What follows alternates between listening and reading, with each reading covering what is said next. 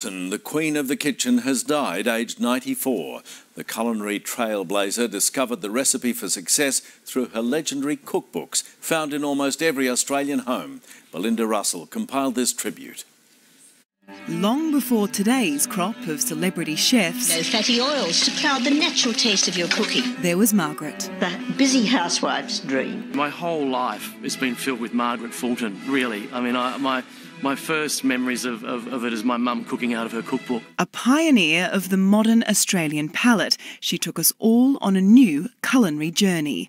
The woman who put the spice in meat and three veg.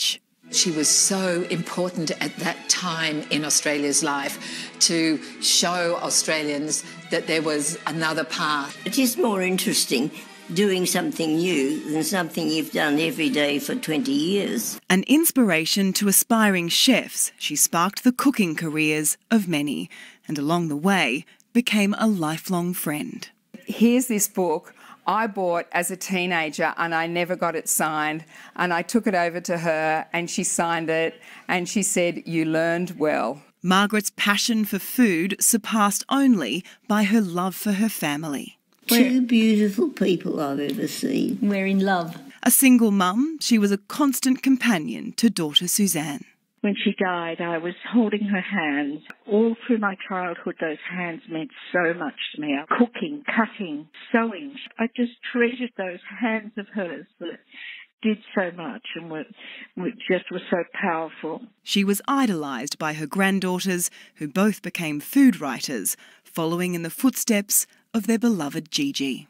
We'll start on the whiskey soon, as she would have insisted. We've already bought some oysters for our dinner because that was her total favourite. I would like to be remembered as the cook uh, who, you know, believed in in good food, good simple food, you know.